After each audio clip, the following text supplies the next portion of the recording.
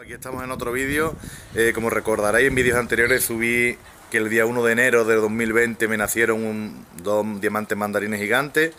Eh, luego visteis en otro vídeo cómo los anillaba, luego en otro eh, que os comenté que había que tener cuidado, había que tener cuidado luego de anillarlo por el tema de los enganches, de que se le mueve y le creamos problemas en las patitas, deformes y demás.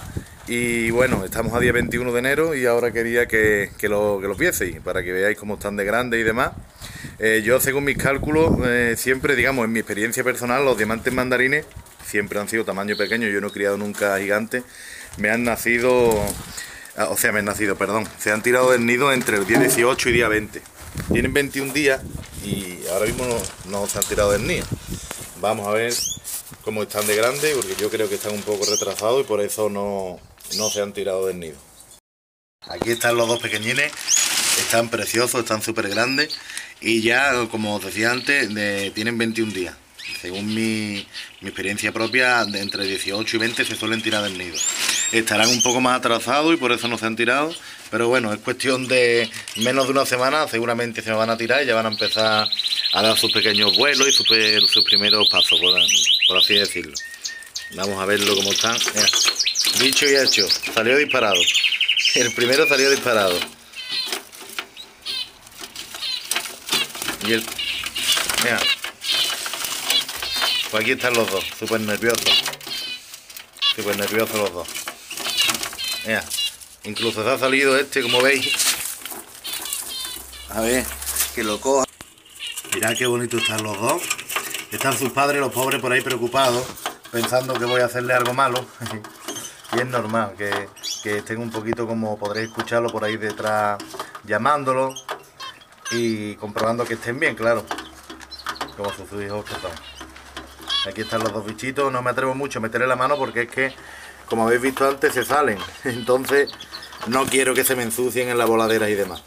Ahí lo veis, como están los dos preciosos, estos pequeñitos. Qué bonitos están.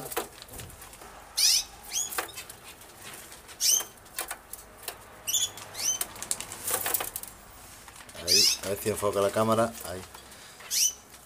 Han salido mutación gris, pero gris dorso claro. Que sería lo que es el, pequeño manto desde la nuca hacia la cola, o sea, hasta por la espalda, en un tono gris más clarito, que sería gris dorso claro.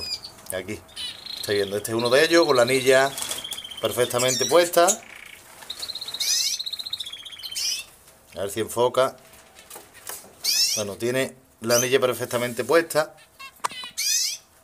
Ahí. Sin ningún tipo de problema. Este es uno de, los de las crías que esté un poquito más pequeñito que el otro. Que os lo voy a enseñar ahora mismo también. Y aquí tenemos al otro individuo. Aquí.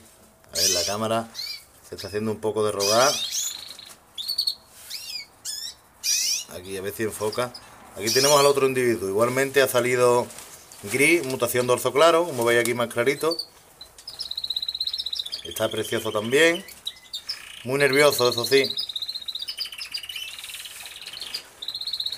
Y como os decía en el primer vídeo, les tengo, digamos, mucho un cariño especial porque nacieron un día muy, muy fijo, como fue el día 1 de enero del 2020. Entonces me ha gustado que sea una fecha tan exacta y tan llamativa.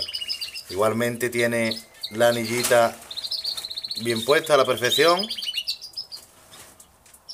La cámara no se está portando nada bien, pero bueno.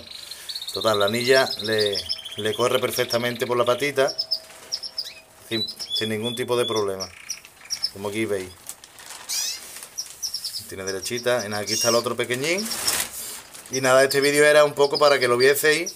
Eh, tengo tres o cuatro vídeos a lo largo de estos días que tienen 21 días. Mm, tengo un vídeo que tenían 5 días, otro unos 9, unos 10 aproximadamente. Si queréis me lo pedís en los comentarios y lo pongo, para que veáis un poco eh, cómo han ido creciendo. Os pongo ese vídeo, digamos, eh, primero X días, segundo tantos días, para que veáis un poco cómo han ido creciendo estos pequeñines.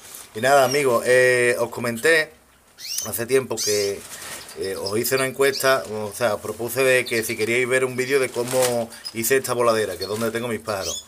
No os preocupéis, que me acuerdo pero no lo he puesto porque voy a mudarme y voy a tener que montar la voladera nuevamente. Entonces aprovecharé ese momento para, para explicaroslo todo mm, paso a paso y mejor como que, en esta ocasión lo podía explicar, ¿vale? Bueno amigos, pues con este pequeñín ya, ya os dejo. Espero que, pronto se tiren del nido, que empiecen a, caminar y a, a volar en condiciones y pronto lo veamos ya con su piquito rojo y, a ver si, si se portan bien. vale amigos, venga, hasta otra.